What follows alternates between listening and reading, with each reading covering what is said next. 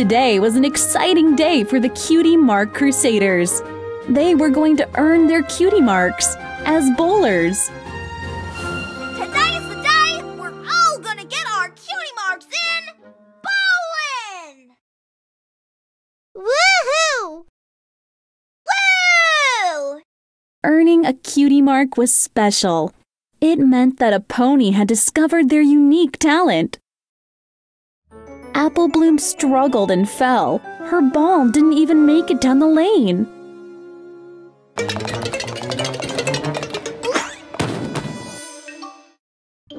The fillies were not very good bowlers. Scootaloo and Sweetie Belle even joked about how bad they were. That bowling sure was fun, even if all I got was gutter balls. At least you were able to keep your ball in your lane.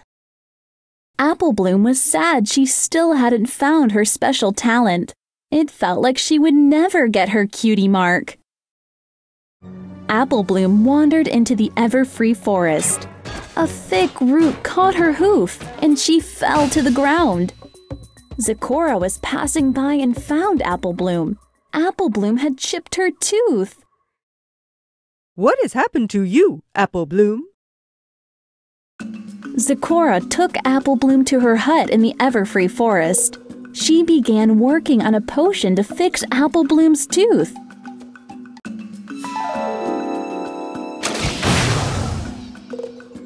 Apple Bloom admitted to Zecora that she didn't want to wait for her cutie mark to appear. She wanted it now.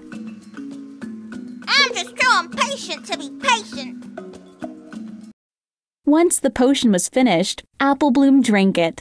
It fixed her tooth.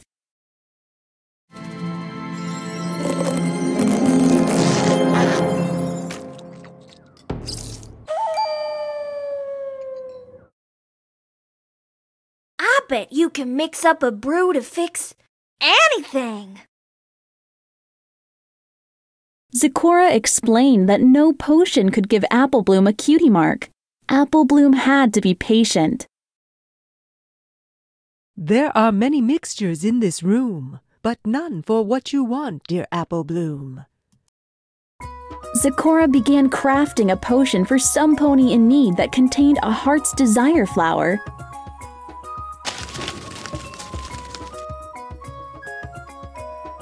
Apple Bloom knew the flower would grant her what she most wanted in the world.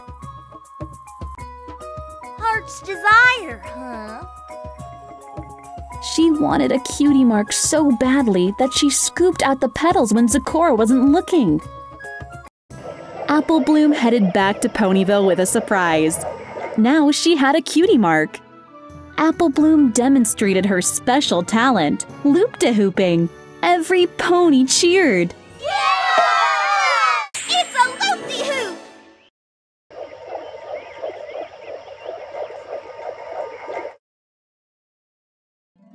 Suddenly, another cutie mark appeared.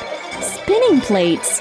No one had ever seen a pony with two cutie marks before.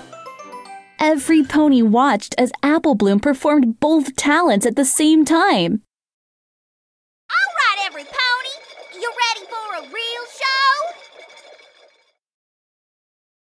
show? That evening, Apple Bloom went back to Sweet Apple Acres to celebrate her cutie marks with her family.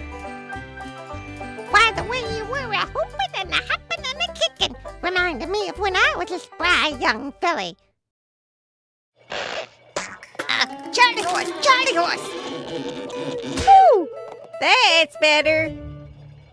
Apple Bloom was exhausted from all the plate spinning and loop de hooping. I'm plumb tuckered.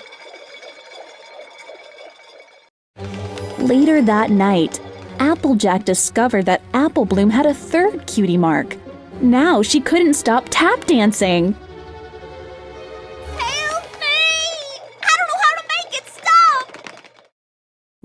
Know some pony who might. Apple Bloom needed help, so Applejack decided to take her to see Twilight Sparkle. The ponies hurried to Twilight Sparkle's library. Twilight looked up Apple Bloom's ailment in an old book. Cutie pox. This puzzling pony plague afflicted a population of ponies back in the Paleo Pony period. It was called cutie pox. The disease caused cutie marks to appear all over pony's body. Meanwhile, even more cutie marks continued to appear. Twilight suggested they ask Zecora for help. Luckily, Zecora was strolling through Ponyville, searching for her missing ingredient. Apple Bloom, what do you say? Did this flower just walk away? Zecora explained that if Apple Bloom told the truth about how she got her cutie marks, then she would be cured. Now, a whirlwind of too many talents, Apple Bloom confessed she used Heart's Desire to get her cutie marks. I admit it! I didn't earn my cutie marks! They're all fake! When Apple Bloom confessed, a magical flower of truth blossomed out of the ground.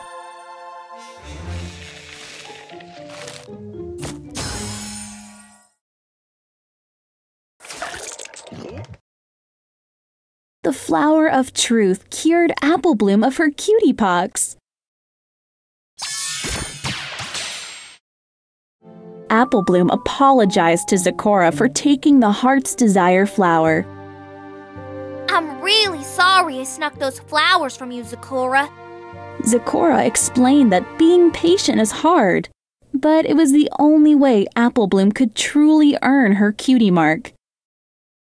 With each mistake, you learn something new, growing up into a better you.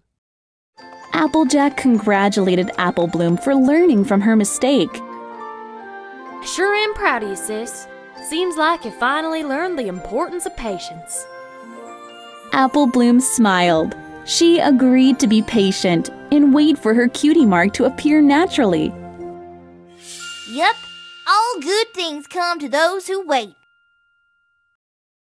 Grateful to be cured, Apple Bloom and her friends returned to Sweet Apple Acres and celebrated.